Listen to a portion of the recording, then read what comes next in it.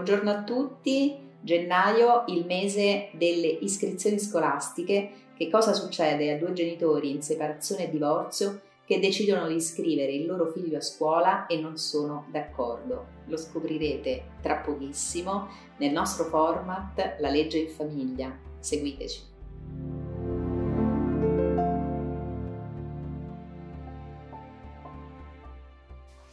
Silvia viene a studio perché ha un problema sull'iscrizione scolastica della figlia. Il padre infatti non vuole dare il consenso a che eh, la bambina venga iscritta in una scuola vicinissima a casa.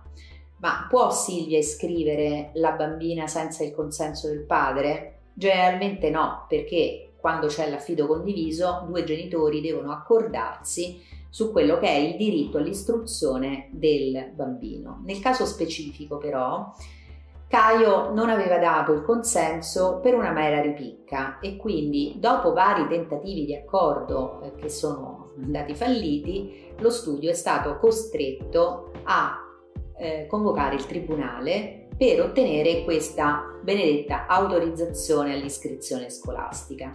Un'autorizzazione che eh, viene promossa attraverso un procedimento di urgenza, quindi molto veloce, perché l'iscrizione scadendo il 25 gennaio ha bisogno di una decisione immediata.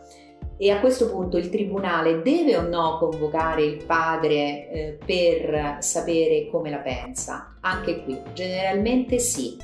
C'è sempre una comparizione delle parti perché il giudice vuole vederci chiaro, cioè se questa iscrizione così eh, contrastata è nell'interesse del bambino. A questo punto il tribunale convoca generalmente le parti, ma in un caso, per esempio a Velletri, lo studio ha ottenuto nel 2020 un provvedimento senza la presenza del padre perché il presidente del tribunale ha ritenuto che il bambino avesse il diritto ad essere iscritto nella scuola e il genitore che si prendeva maggiore cura di lui, cioè quello con cui viveva, doveva avere la possibilità di iscriverla anche senza il consenso del padre. In ultima analisi è importante che chi rifiuta il consenso, cioè il genitore che non offre il consenso, debba offrire un'adeguata motivazione. Non si può impedire ad un bambino di andare a scuola e di frequentare la scuola, diciamo, più eh, funzionale alla sua crescita e al suo equilibrio,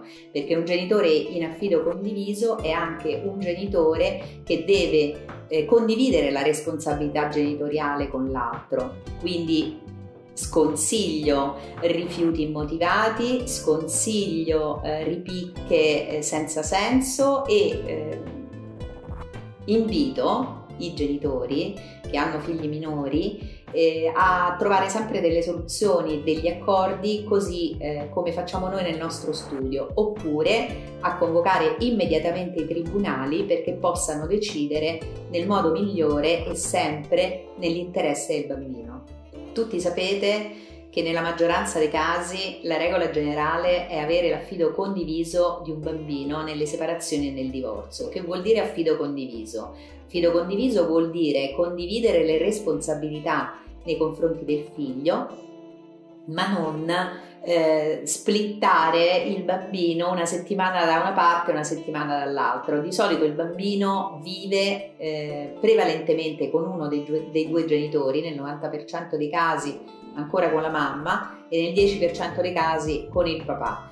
Eh, le decisioni di massima importanza devono essere quindi sempre condivise. Tra queste quella della scuola. È una decisione che i genitori devono prendere sempre insieme, salvo che non ci siano dei conflitti e salvo che non ci siano dei casi di affidamento esclusivo. Quando possiamo ottenere l'affidamento esclusivo? In casi eccezionali, come possono essere gli abusi, le violenze sui minori o anche sull'altro genitore, la denigrazione di uno dei genitori da parte dell'altro può portare a eh, un affido esclusivo in favore del soggetto denigrato, oppure quando uno dei due genitori eh, non provvede al mantenimento del proprio figlio sia che ci siano dei provvedimenti che non ci siano dei provvedimenti del magistrato. Mantenere il proprio figlio economicamente e provvedere al, alle, a trovare le decisioni più importanti tra i genitori è indice di idoneità genitoriale.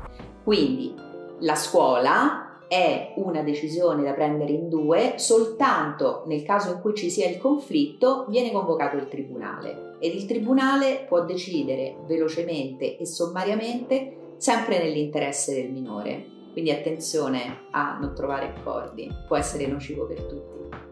Per rimanere aggiornati iscrivetevi al nostro canale, guardate il format, non so come, come, si faccia a fare questa pubblicità, però comunque studiodonne.it è il nostro sito, scriviamo articoli sui vostri casi e quindi se vi va e se volete saperne di più per ogni cosa che vi riguarda nell'ambito familiare, seguiteci, noi ci siamo sempre.